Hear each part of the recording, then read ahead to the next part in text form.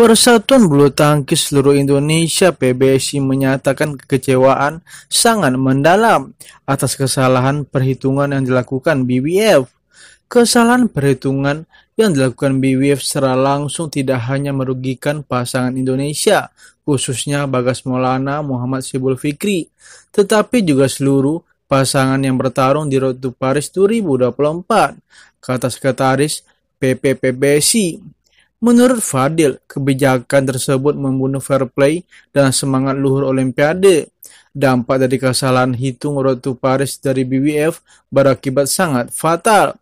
Ganda putra Prancis Ronan Lubar Lucas Corfi bisa tampil di Olimpiade Paris 2024. Meski dari peringkat kualifikasi, sebenarnya mereka tidak lolos.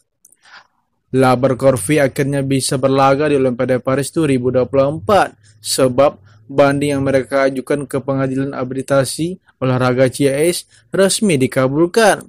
Pada mulanya, Labar Coffee berada dalam zona lolos ke Olimpiade, tetapi BWF lalu merevisi kesalahan hitungannya dan membuat rekan senegara mereka Krista Popov, Thomas Junior Popov, memiliki poin lebih baik ketimbang Labar Coffee.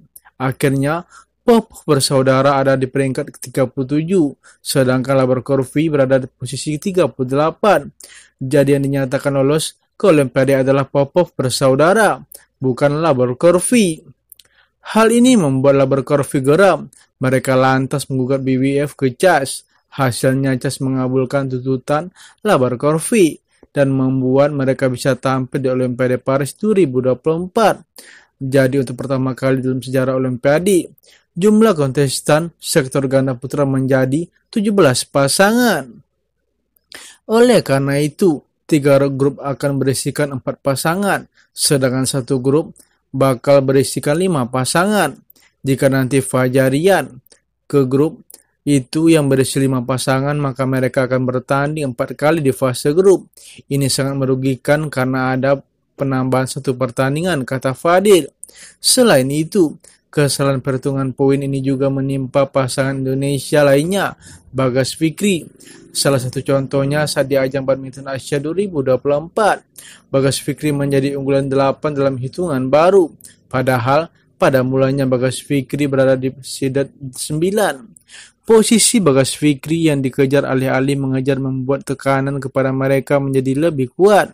Pada ajang itu Bagas Fikri kalah di babak pertama. PBSI lanjut Fadil akan segera berkirim surat ke BWF untuk menyikapi situasi ini. PBSI secara keras akan meminta pertanggungjawaban BWF. Bagaimana menurut kalian guys? Salam kabar tim.